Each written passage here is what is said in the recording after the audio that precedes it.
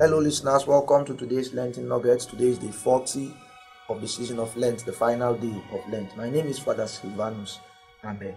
And for our nuggets today, I'd like to remind us that not even the hopelessness of death or the grave is hopeless enough for God. Not even the hopelessness of death or the grave is hopeless enough for God. What can be more hopeless than death? Nothing. I don't think there is any other thing that can be more hopeless than death. But not even that is hopeless enough for God. For out of the hopelessness of death, Jesus rose triumphant.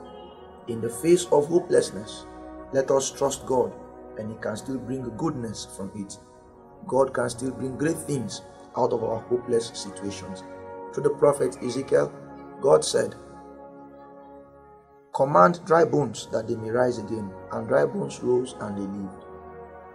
And we see also a number of instances in scriptures that God brought back the dead from the grave.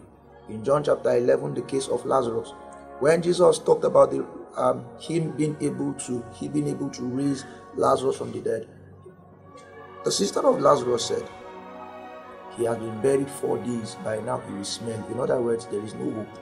But Jesus said, I am the resurrection and the life.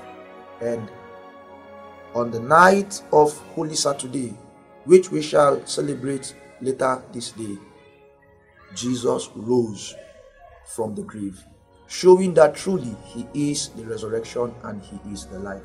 So let us keep this in mind that no situation is too hopeless for God. Not even the hopelessness of death or the grave is hopeless enough for God. For this reason, let us learn to trust God, especially at those times when we think that all hope is lost.